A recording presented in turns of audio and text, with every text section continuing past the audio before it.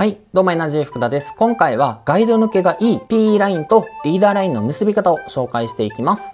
まずこれをリールに巻いた PE ラインと思ってください。このラインを反対側に置き、少しテンションをかけても大丈夫な状態にしてください。そしてこっちの端を口で加えます。こういう感じです。次にリーダーラインは左側に置きまして、まあ、大体2、30センチ取ります。その取ったラインを P ラインの上にセットします。はい。こういう状態ですね。上にセットして、この状態から、この親指を真ん中として、上の P ラインの下に通して折り返していきます。まだちょっと結び目はできてないんですけど、これを次は下側ですね。下側に通して引っ張っていきます。こういう感じで徐々に結び目が作られてきます。で次は上側に通して引っ張る。で次は下側。通した後、まあ、軽く引っ張ってる状態ではこんな感じになるんでここから反対側に引っ張るようにキュッとするとしっかり締まっていきます。これを1回2回3回4回という感じで最低12回、まあ、最大20回ほど、まあ、ラインと対象魚に合わせてやってください。5回。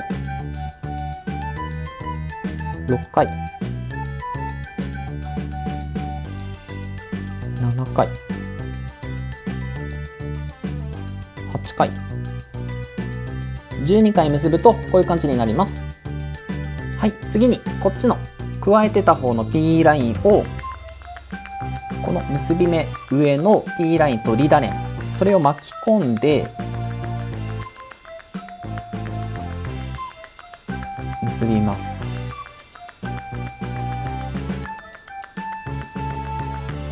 これで手を離しても F 字ノットがほどけなくなりました。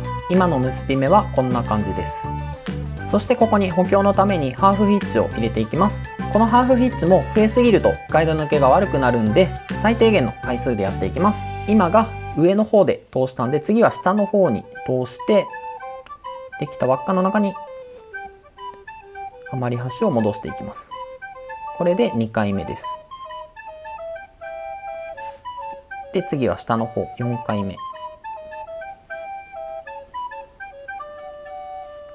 そして次リーダーラインをギリギリでカットしますそして少しだけリーダーラインが見えてると思うんで、さらに追加でハーフヒッチを行い、巻き取る時にガイドに引っかからないようにしていきます。同じ要領で上に通して引っ張る。下に通して引っ張る。4回結びましたんで次はエンドノットをやっていきますエンドノットは同じ要領で輪っかを作りくぐらせます。そしてもう一度くぐらせます。2回くぐらせます。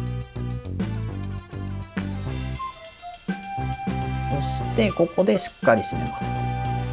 そして余り端をギリギリでカットします。はい、これでガイド抜けがいい NG ノットの完成です。ちょっと太い糸を使ってるんでゴツゴツしてるように見えるんですが、実際のラインを使うともっとスリムに全体的にシュッとしてるんで、ガイド抜けがかなり良くなります。よかったらいいねボタンとチャンネル登録よろしくお願いします。